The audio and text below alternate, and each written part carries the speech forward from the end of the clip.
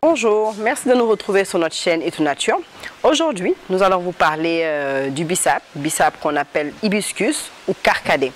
Donc euh, aujourd'hui, nous allons vous présenter l'huile de bissap. L'huile de bissap est extraite à partir des graines, des graines qu'on a l'habitude d'utiliser pour pour semer en fait euh, la plante. Et on l'utilise. Et à partir des graines, on en extrait une huile qui est vraiment bien pour la santé, une huile précieuse. Cette huile est riche en vitamine E et c'est bien sur la peau et c'est bien sur les cheveux. Sachant que si vous avez par exemple euh, des problèmes de, chute de cheveux, des problèmes de brillance, et aussi c'est bien. Si vous, avez aussi euh, des problèmes de pellicule sur les cheveux, vous pouvez l'utiliser euh, en, bain d'huile ou bien même en masque sur les cheveux avec d'autres produits.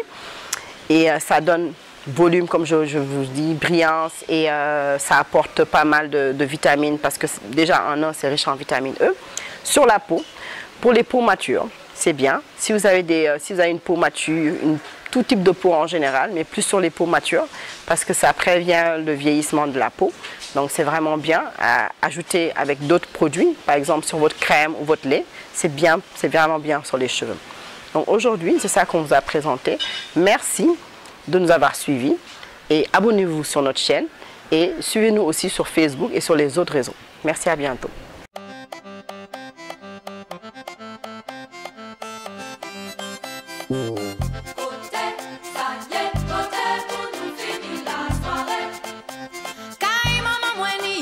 Ki ka ou